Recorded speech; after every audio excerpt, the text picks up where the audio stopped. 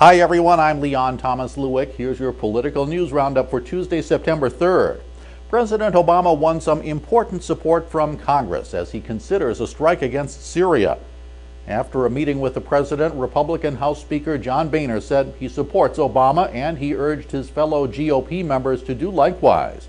Another key House Republican, Majority Leader Eric Cantor, also supported the use of force against Syrian dictator Bashar al Assad's use of chemical weapons against his citizens.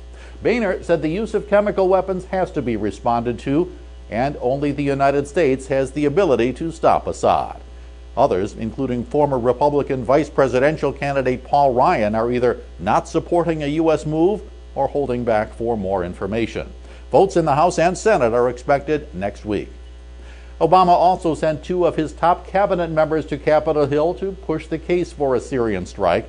Secretary of State John Kerry and Defense Secretary Chuck Hagel testified at closed hearings of the Senate Foreign Relations Committee.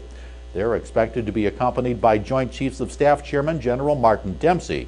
Meanwhile, Republican Arizona Senator John McCain said rejecting a Syria strike could have a catastrophic effect on the president and on the U.S. credibility. For his part, Bashar al Assad warned that the Middle East is a powder keg. He told French interviewers that a U.S. strike could touch off a regional state of war.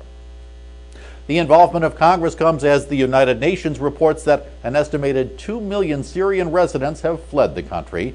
The head of the UN Refugee Agency said Syria has become the great tragedy of this century and a disgraceful humanitarian calamity. Most of the Syrian refugees, he said, have fled to Turkey, Iraq, Jordan, and Lebanon. He also said a total of 6 million have been displaced by the war. And it's a friendship visit, not a diplomatic one. That's what former National Basketball Association player Dennis Rodman is calling his latest visit to North Korea.